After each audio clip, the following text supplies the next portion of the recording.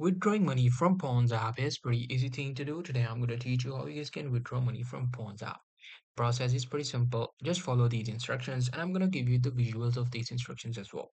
First things first, click the request payout button in the dashboard.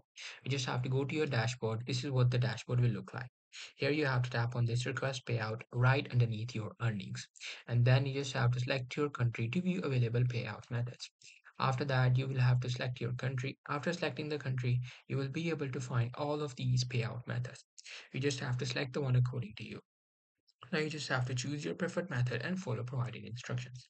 Now after that, you just have to select either you want to withdraw it PayPal, Bitcoin, Visa virtual card, Amazon virtual card, or gift cards. You can get all of these as a payout. You just have to select the one according to you. And then you just have to follow the instruction according to your payout method. And there you go. That's how you'll be able to do it. Hope you guys find this video helpful.